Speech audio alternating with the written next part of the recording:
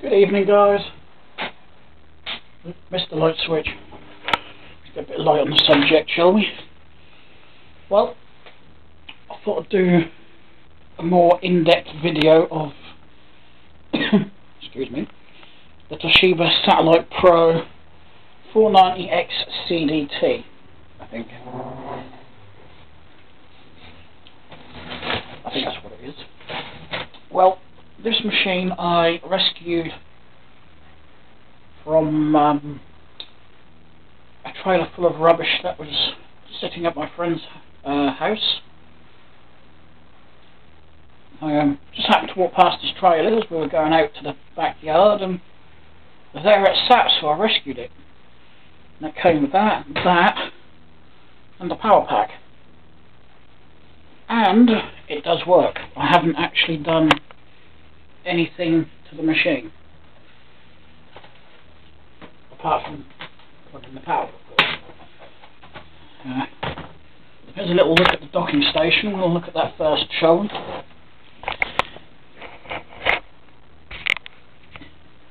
It's got two ports, one for mouse, one for keyboard. It's got audio. Yeah, audio. That's line out, line in, so that'll be speakers out I expect, and microphone, video monitor, printer, ah, forgot the name for that port now, game port two USB ports, and on the side here we've got the locking mechanism, and as you can see it came complete with the key, volume control, a little panel that flips down there, and that actually looks like, to me, that a hard drive might slide in there, I'm not sure. That's what that connector looks like. Anyway, moving on, there's another... I'm not actually sure what this is. That's, uh, that's all that does. Ah, I wonder if that's the release mechanism for it. When it's on the base, that might be. Alright. Turn it around. on this side we've got a little lock sliding catch there. And ah PCIe um can't remember what they call them. But they do the same job as the PCIe on desktop. Upgrade slots. So I could put a uh, choking on my own spit. Put like a wireless adapter or something in there or another USB card or something. I'm not sure what this is. I've never seen one before. Uh, that's a quick look at the docking station for it It's the front of the uh, laptop itself. the three audio ports on the front. Line in microphone speaker. Volume.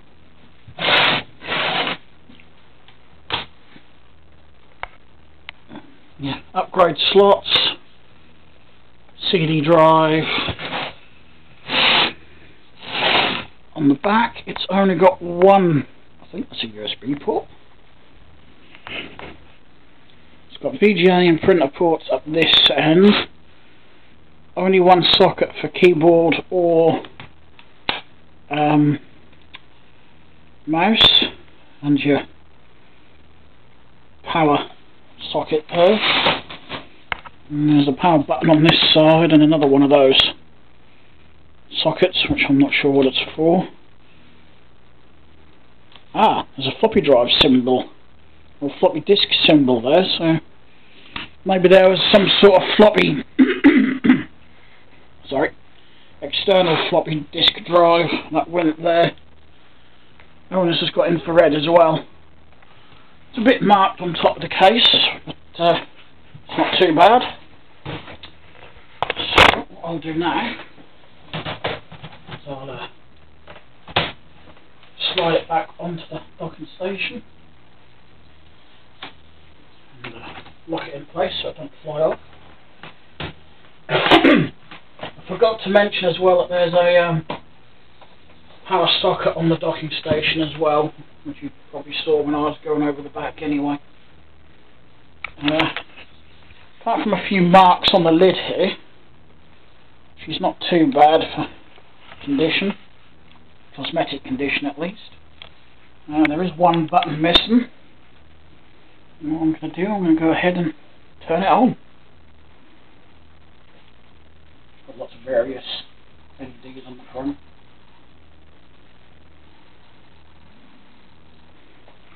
That one looks like for CD-ROM, hard drive.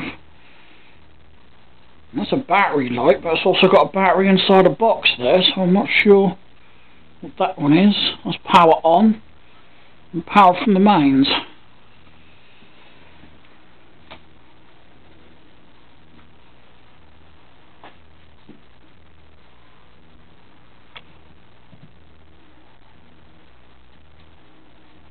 Who needs a password? Hmm? Volume's a bit low. That one's all the way up.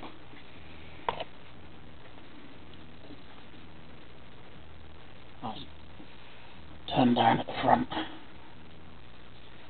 Ah. As you notice, this doesn't have Ethernet, but I can get it online. If we just walk through to the shit tip I'll call a bedroom. On the shelf here is a USB Wi-Fi adapter. And as I've never had this connected to the Wi-Fi yet I'm going to need to set that up I will be my top secret Wi-Fi key all I've got to do is plug it into a USB port. Hopefully that will recognise it. It's doing something. Might need an extension cable because it may not be plugged in properly.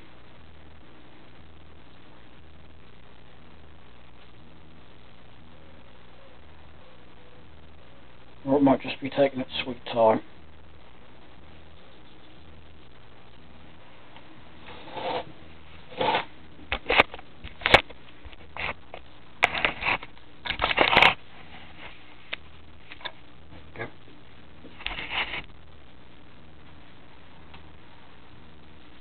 Hands free now.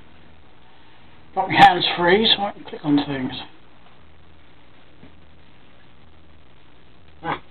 Got a Wi-Fi light flashing on that, so that's good.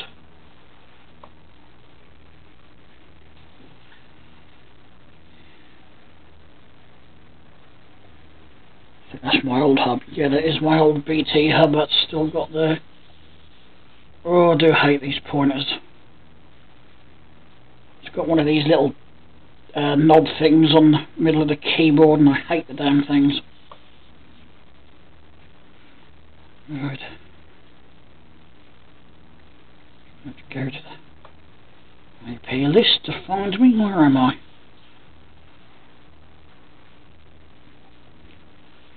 Found it. Oh, another BT hub local.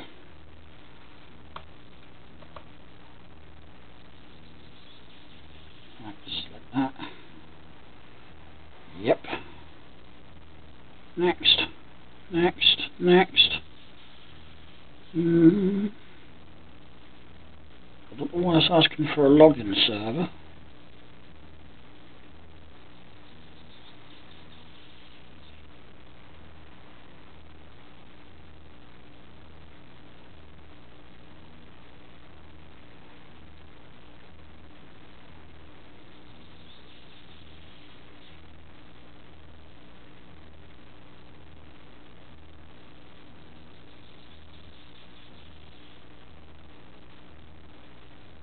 Hmm.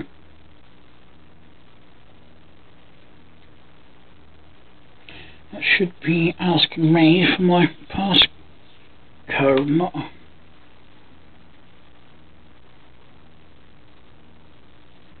Hmm.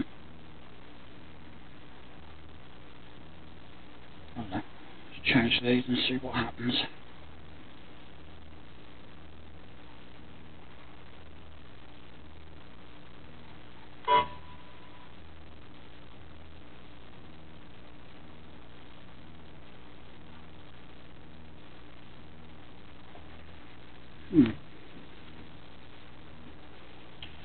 I'm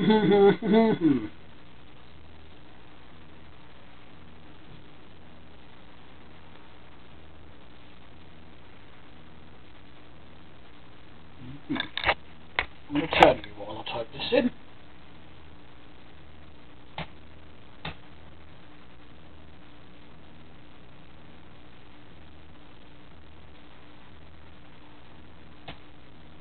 I don't know if it's actually going to work.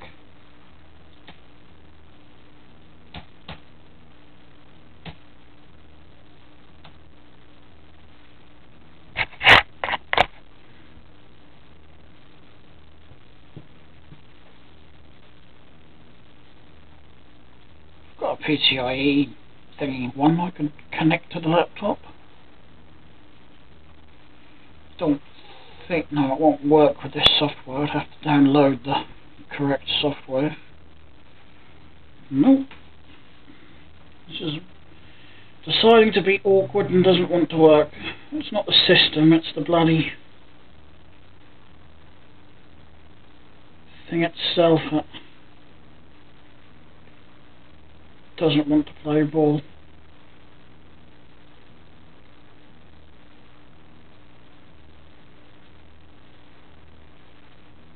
Hmm.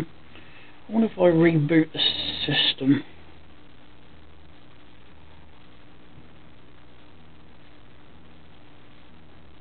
Got a game downloaded on the other PC to uh, install on this one. When I can find my um, flash drives. I've got two of them. I've got one yellow one and one silver one, and I can't find either of them at the minute.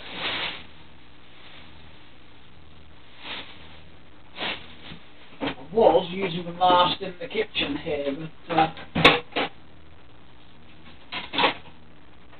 haven't seen them. Hmm. Could be anywhere. I need one though need one to put the game on this machine.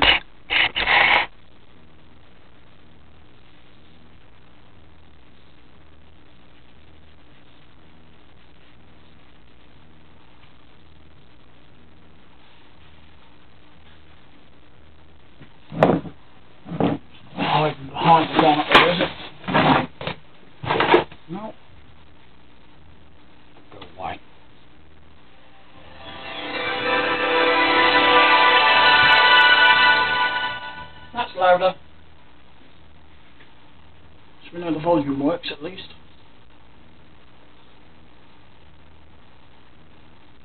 I don't think there's any games already on this.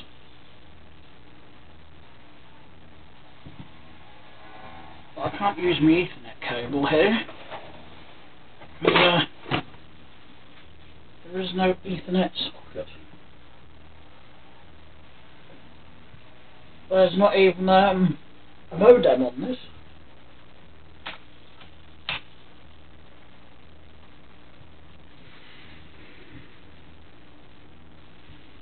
Okay.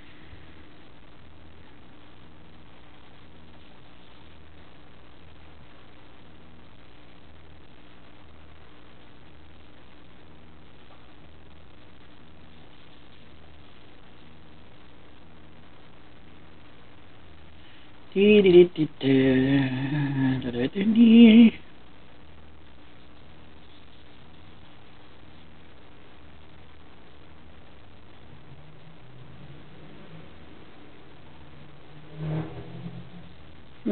Try it through a cable.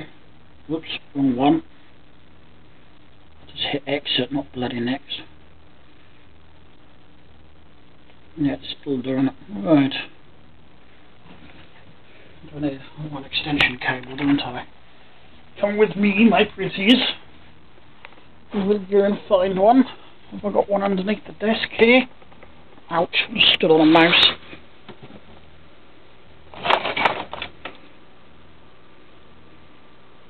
Wrong type, wrong type, the correct type, there we go.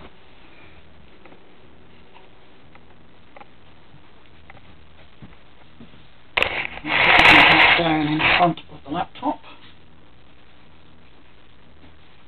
The little green flashy light has gone off on this as well. Right. Twat. Try plugging it in the correct end. Plug the male end of this to the into the male end of the bloody cable. Going to work like that.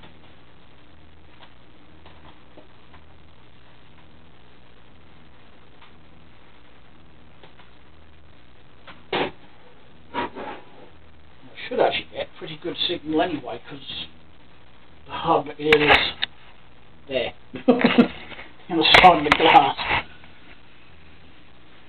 Right, so I just plugged it in again. Still haven't bloody flash drives.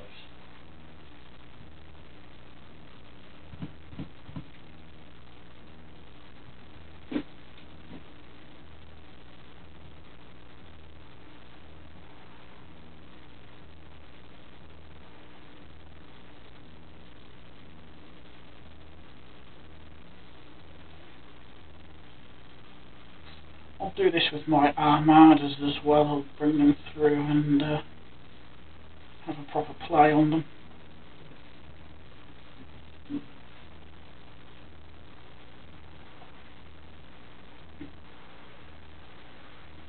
When this is done setting this bloody thing up again, because I changed the USB port I'll uh, see if we can find the um, specs control panel. You know, I think I should have plugged a mouse into this.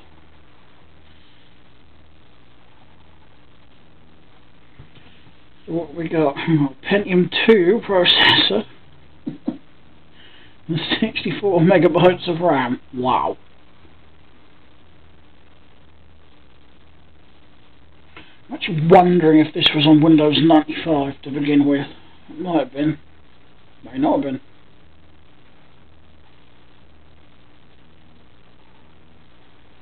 despite this low amount of RAM, it is still working fine. See, opens things up pretty damn quick.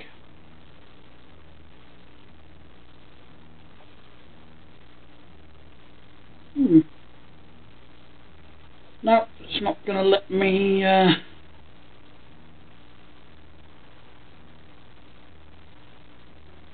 log in.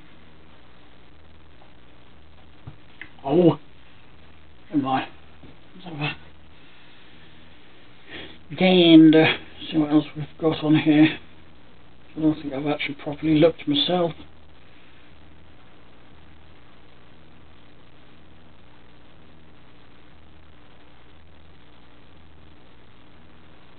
Online services. AT&T World Net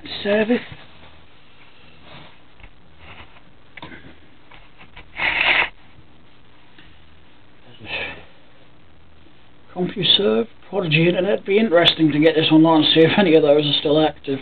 Probably not. MS DOMP, MS MS DOS Prompt, not MS POS. Outlook Express, Windows Explorer, no, there are a lot of programs on this. was under accessories. Internet tools, Internet Connection Wizard, Personal Web Server, Entertainment, Communications. I've always just got dial-up networking on this one. This hasn't actually got a modem fitted. System, too far down. System tools. Hmm. Not really a lot on here, is there?